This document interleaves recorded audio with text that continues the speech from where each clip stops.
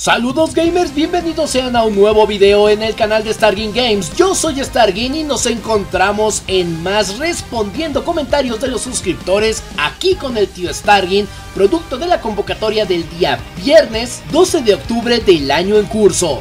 La primera pregunta es para Brandon Super HD. Ahorita que se está acercando el Nintendo 64 Mini, Nintendo puede considerar los juegazos de Rare y la gran ayuda que tuvo en ese entonces pueda negociar con Microsoft para poder tener todos los títulos que se lanzaron en ese sistema, ya que últimamente Nintendo y Microsoft se llevan muy bien y es más seguro que le otorguen ese derecho. Bueno, no voy a decir lo que pienso respecto a este tema porque te desuscribirías y me lloverían un chingo de comentarios negativos, pero así tupidito. Así que solo voy a dejarlo en lo siguiente, a ver qué pasa. David Arcángel nos pregunta, ¿puedes decirme qué juegos de carreras de autos existen ahora mismo en Switch o que se hayan anunciado? Bueno, B-Rally 4 y Gear Club 2.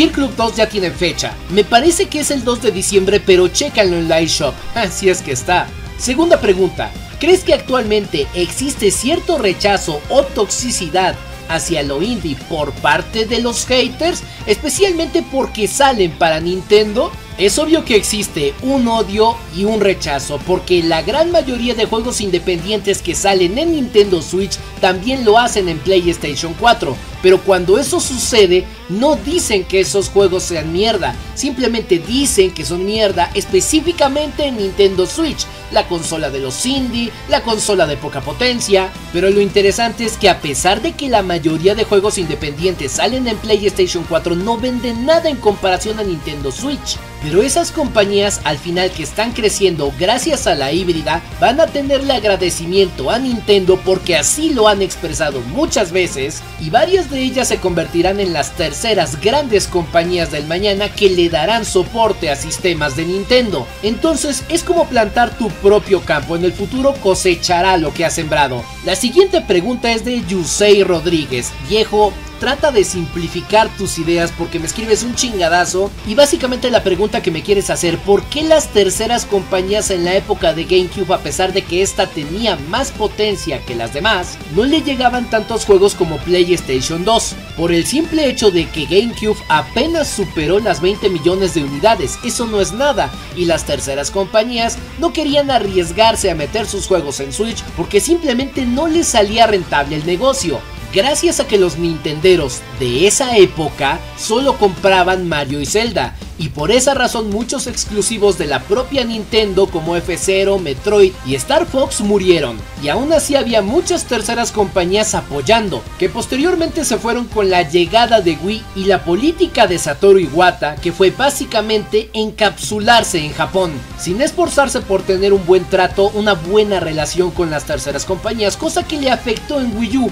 y que ahora Tatsumi Kimishima y posteriormente Shuntaro Furukawa están tratando de arreglar.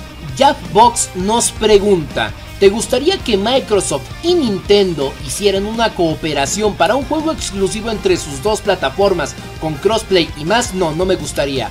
Nephilim nos pregunta, ¿crees que sería una buenísima idea el que Koei Tecmo hiciera un crossover de Hyrule Warriors y Fire Emblem Warriors? No es que a mí me parezca una buenísima idea, es que a ti te parece una buenísima idea porque estás poniendo el calificativo y estás diciendo, a mí me encantaría que eso sucediera. Pues es cuestión de que Nintendo lo revisara junto con Koei Tecmo. Podría funcionar, pero yo creo que estaría muchísimo mejor que se hiciera un Nintendo Warriors. O sea, ¿por qué limitarnos solo con Zelda Fire Emblem? Segunda pregunta, de todos los controles de videojuegos que se han fabricado, ¿cuál es el que menos te gusta y por qué? No me gusta el control de Wii porque nunca me convenció. Soldado Iliano pregunta, ¿qué tan posible crees que sea que salga un juego tipo Let for Dead 2 o Killing Floor 2 a Switch? Pues habría que preguntarle a los desarrolladores para empezar si lo quieren lanzar en Nintendo Switch o si les interesa la máquina. David Sazocoteco nos pregunta, ¿Tú crees que Nintendo vaya a sacar otra consola de la familia 2DS 3DS?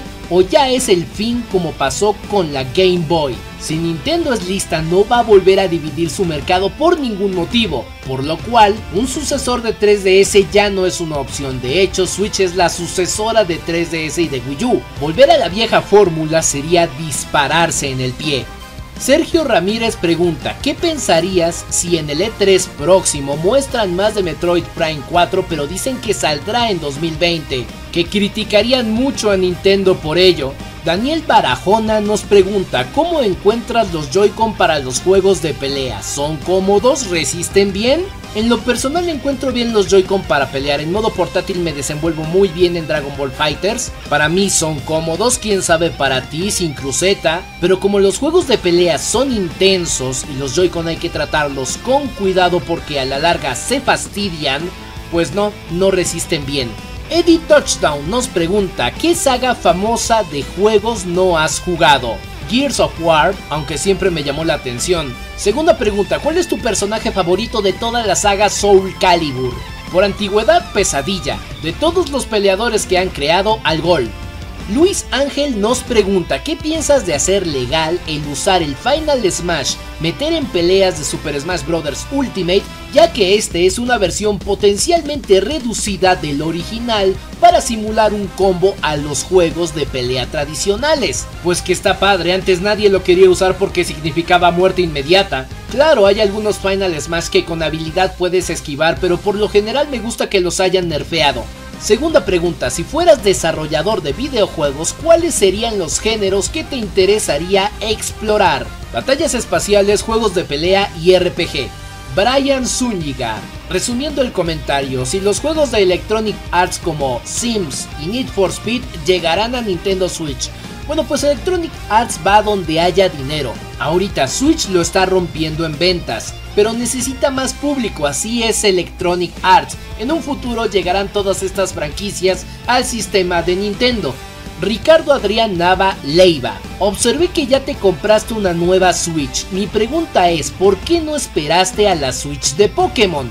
No manches, iba necesitando otra Nintendo Switch desde hace meses. ¿Tú crees que me iba a esperar hasta noviembre a comprar la edición de colección de Pokémon? Sabiendo que viene otra de Super Smash Bros. en camino? Pero más importante aún, esas ediciones cuestan caro. Jamás la vas a poder conseguir al precio justo en las tiendas de videojuegos. Y mucho menos lo vas a poder hacer en Amazon porque le van a subir el precio. Así como lo hicieron con el control de Xenoblade Chronicles 2 y así como lo hacen con las versiones de colección en la Friki Plaza.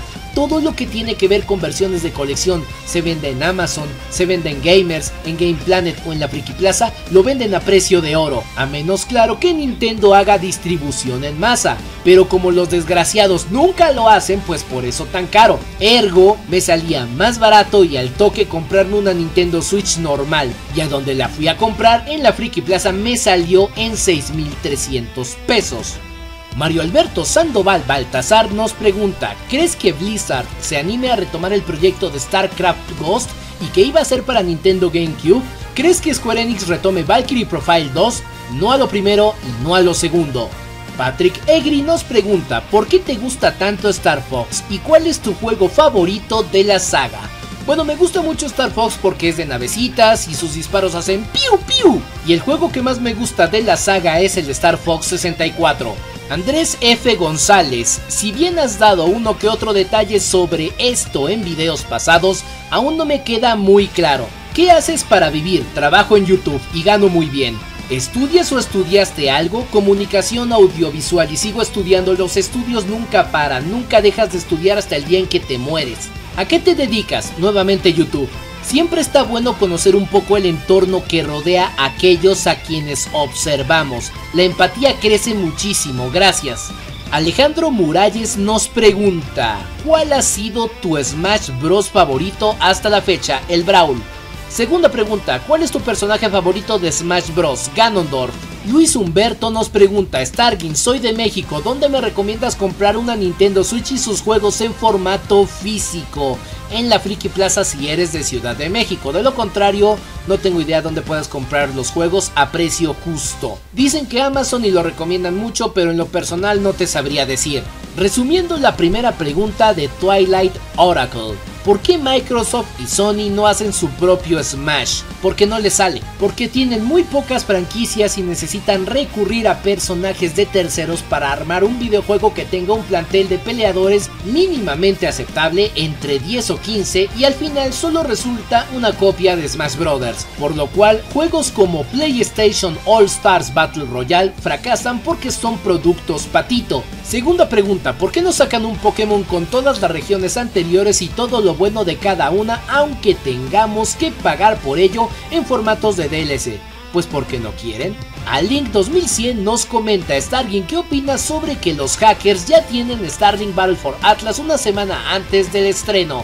Bueno, pues que el infierno tiene un lugar reservado para ellos. Oye.quest nos pregunta, ¿Podrías hacer un video de top 100 de videojuegos o mencionar 100 juegos que debes probar antes de morir? No, porque es mucho trabajo de investigación, de grabación, de edición, de subida y de publicación. Y luego resulta que después de tanto trabajo el video nada más alcanza unas 3000 vistas. No, ya he hecho tops que se quedan en las 1500 vistas. Emif MX nos pregunta, ¿serías accionista de Nintendo? ¿Y por qué? No sería accionista de Nintendo. ¿Por qué? Pues porque me da hueva.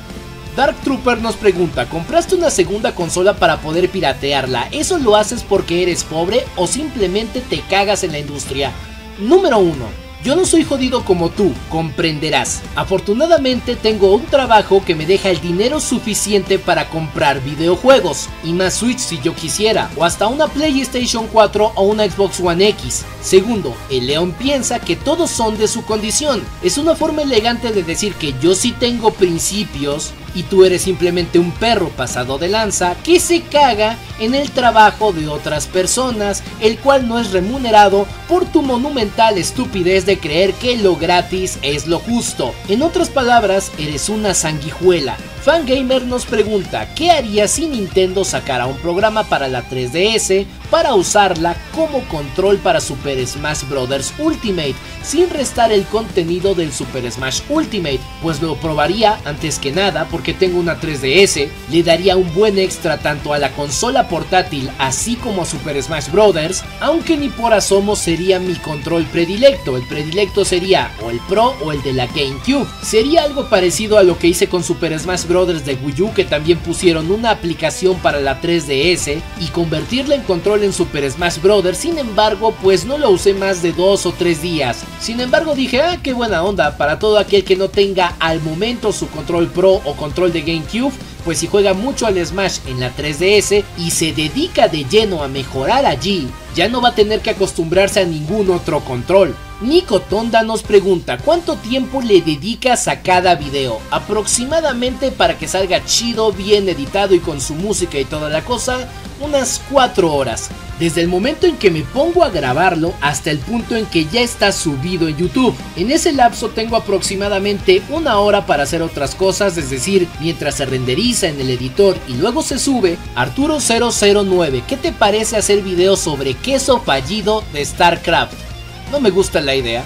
Y bueno gamers, con esto terminamos de responder las preguntas más interesantes que se hicieron en la convocatoria del 12 de octubre del 2018 y me he fijado que han hecho preguntas bastante repetidas, es decir, ya he tenido la oportunidad de contestar en alguna ocasión o son preguntas de temas que he abordado de forma muy extensa en videos propios, así que les aconsejaría dar un pequeño repaso a anteriores entregas de respondiendo comentarios con el tío Stargin y abrir nuevamente la convocatoria para que me puedan hacer nuevas preguntas el próximo viernes, así que estén atentos. Esto ha sido todo y si quieres aportar al crecimiento de este canal ponle un pulgar arriba a este video, compártelo con tus amigos y regálame una suscripción.